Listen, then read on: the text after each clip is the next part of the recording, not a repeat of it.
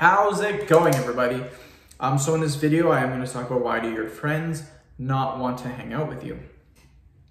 So before I get started, please subscribe to my channel if you haven't already. I do appreciate the support, helps my channel grow. Please follow me on Instagram, DylanBerg999. So what gives? Why do your friends not want to hang out with you? What's going on? What I found out is that people change over time. And um, sometimes your best friend or someone that you like, maybe one of your friends, they start doing different things. And sometimes those different things don't include you because maybe you just don't like them, you don't share the same passion. And then what happens is when they come, when they do this new scenario, maybe they'll meet other people and maybe they want the other people to share their passion with or they connect more with them. So what basically happens is they just spend less time with you, they stop hanging out with you, and that's kind of the circle of life. So, what can you do to fix this? It's pretty simple. Just keep making new friends, and if those friends don't want to hang out with you, then make different ones.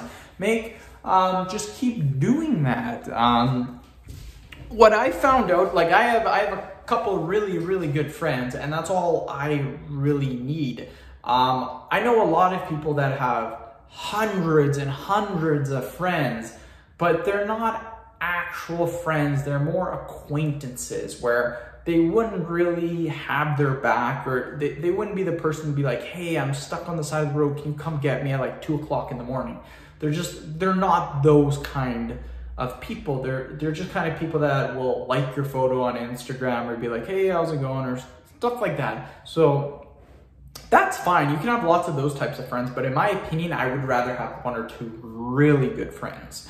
So um, you the, the, the thing about having one or two good friends is you get to know them better, you get to do things with them more. And the thing is, you can't hang out if you have hundreds and hundreds of friends. You just with, how busy people are nowadays with work and, and different types of stuff, life's literally crazy for people right now. Um, there's no way in hell you can hang out with that many people. There's going to be people that you hang out with more, and there's going to be people that you barely see at all. And that's just how life works. Different things come up for different types of people. You start having family, you start having kids, you meet people, you meet girlfriends, relationships, different stuff like that. So do not get mad if your friends don't want to hang out with you. It's perfectly fine. It, it happens to everyone. So it's not you. Don't think, oh, uh, I'm a loser. Uh, they don't want to hang out with me. No, that's, trust me, that's not it at all. They just,